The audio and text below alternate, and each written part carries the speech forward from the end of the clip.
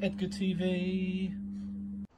How do there, guys, and welcome back to Edgar TV. And this one, it's going to be controversial. I can see that already.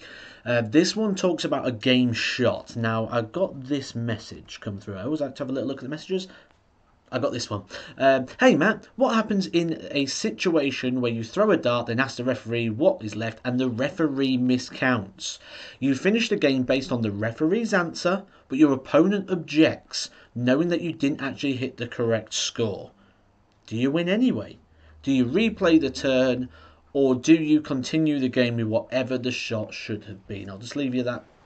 Still not got this thing. I'll leave that there while I explain this to you now a lot of people will say that it's game shot based on the fact that the referee told you what to hit and you hit it.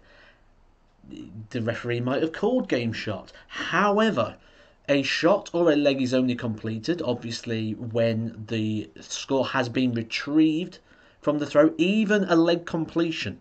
So a leg um, completion only counts uh, in the rules as the, the required score of 501 points has been hit and called, and the darts have been retrieved. If an objection happens before that point, it does not count. And I'll tell you a story in which this happened. I'll also link you to the rules very quickly. If you look on the DRA rules, you'll see rule number just get this up so I get it exactly precise.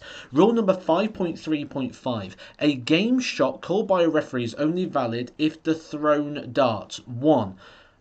Achieve the required finish of 501 points and remain in the board until retrieved by the player whose throw it was at the time of calling game shot. A leg is not completed until all darts are retrieved from the board uh, by the player who has thrown.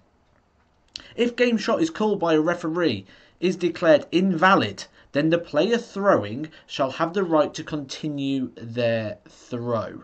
Now, what this basically means is in this situation here, we, have got that uh, game shot and the leg, and I turn around and go, no, no, he hit 26 with the last dart and he left 36. So what will happen is that they'll look at it and they'll go, you're right, actually, he still wants 10. The rules then say, the next rule down in, in on this list, if you have a look at the rules on the DRA website, it says that the referee will then take the darts. So let's say you wanted 46 and you went 10 double 13. Right? The referee will take the darts and put them back into the dartboard at the place they was. So 10, double 13, and he's got one dart left there to hit double 5. If he misses that, that's his turn.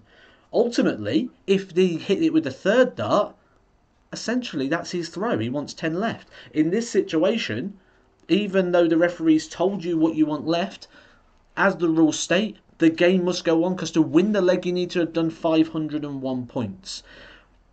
The rules also state the referee can change and the the uh, the score can be changed at any point of an active leg.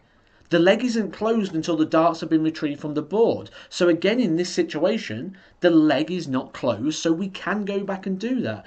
This situation did happen in Las Vegas in one of the qualifiers, where the player threw and he, he threw the darts and then they, they put it in on Darts Connect because they thought he'd done that uh, and then he's gone no you, you want this and the officials had to come over and restart the game put the darts back in the board he had one dart left at double one so yeah, it, even though the refs called game shot in, and even though the ref said you want double thirteen, if that's not correct, you still don't get to claim the leg.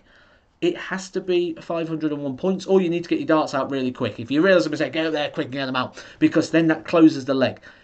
An active leg can be changed at any point of an active leg, and as per the rules, if you have a look at that, starting from rules 5.3.5, unfortunately, and it goes against a, a, a bit of etiquette, I suppose, as well, because I'm guessing this if this happened on your local league or wherever you'd go, you did want double 18, but he said that, so that's okay. But in terms of the actual rules, in terms of playing this by the book, they get the darts out your hand, they stick them back in the board, and you want double five. So, unfortunately, although you've asked the referee and he's give you the wrong answer, that's between you and the ref. It doesn't guarantee you winning the leg.